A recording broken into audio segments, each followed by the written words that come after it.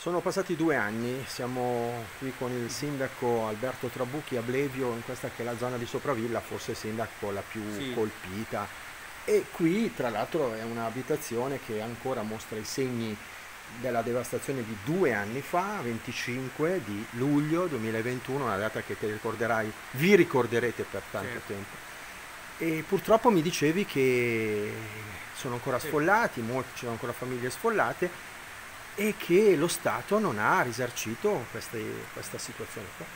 Sì, sì, Perché purtroppo. precisiamolo, eh, poi perché Sì, sì, sai, purtroppo c'è una mm, sì, mm, i, i tempi diciamo di, di- di- per avere rimborsi sia per eh, gli affitti che per gli sfollati per gli affitti che per i danni agli immobili dei, pri- dei privati sono eh, lunghissimi, la normativa è tutta nazionale, regione e comune sono gli enti che attuano, però le regole sono tutte da Roma e cioè tempi sostanzialmente sono sindaco, lunghissimi. per questa famiglia eh, i soldi per, per questi danni, per il fatto che la casa è inagibile ancora, eh, deve dare lo Stato.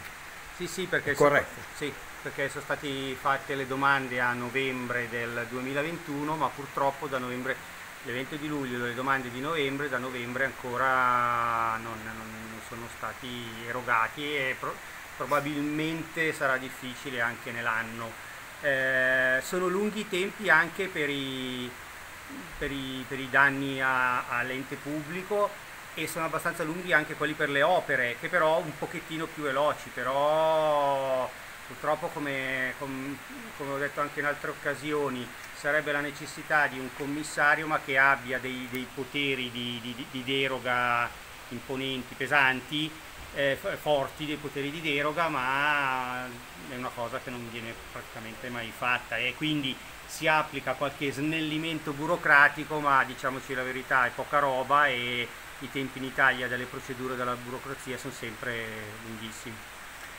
E, beh, avete fatto dei lavori a monte. Sì, Allora, sì. Questo l'abbiamo fatto anche col tuo vice, l'abbiamo fatti vedere, siamo andati su, dei lavori a monte sono stati fatti. Sì, sì, sì. Ehm, però, eh, Infatti noi settimana scorsa quando c'è stato un- l'evento di mercoledì, anzi stati fra mercoledì e giovedì due eventi, abbiamo avuto qualche piccolo allagamento, veramente poca cosa, però in un giorno si sono riempite tutte le briglie nuove che avevamo fatte, che be- bene perché vuol dire che se no eravamo nella stessa situazione del settembre del 2022. Quindi... funzionano queste briglie, Sì, sindaco? funzionano, noi ne servono in totale una quarantina di opere, oggi ne abbiamo 7-8, eh, quando saranno tutte la situazione sarà ottimale, al momento qualche disagio continuerà a esserci, qualche problema continuerà a esserci, però funzionano e stanno cominciando a funzionare come, come- come a dovere.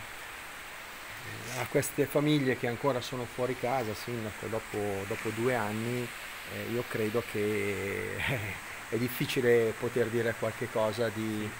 Cioè, nel senso, oh, è corretto, anche Sì. dal punto di vista umano. No, dal punto di vista umano hanno, hanno senz'altro ragione.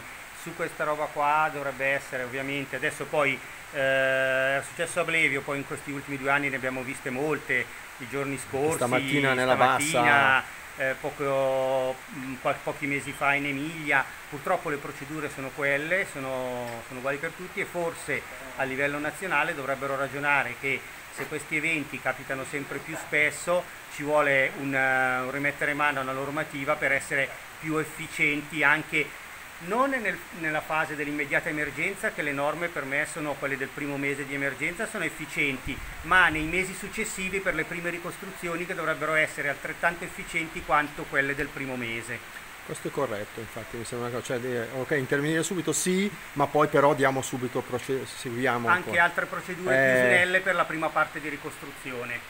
Sindaco, senti, se ti riporto indietro al 2021, qual è il primo flash di quel giorno tragico per il tuo paese? Quei giorni, quel giorno, insomma, il giorno dell'alluvione, credo. Qual è il flash che ti viene in mente? Ma due cose, uno quando ci sono quegli eventi lì, quando incomincia a suonarti il telefono che hai 7-8 chiamate una sotto l'altra con, le- con gli sms a valanga e quello non te lo scordi più. E l'altro è la notte, perché poi è iniziata nel pomeriggio, poi anche è andata avanti di notte, quando vedi che in neanche 5 minuti di pioggia, 2-3 minuti, tutto il lavoro magari fatto in 12 ore sparisce in 2-3 minuti perché è tutto allagato come prima e quello non te lo dimentichi più. Grazie Sindaco della tua Grazie testimonianza, grazie. eh.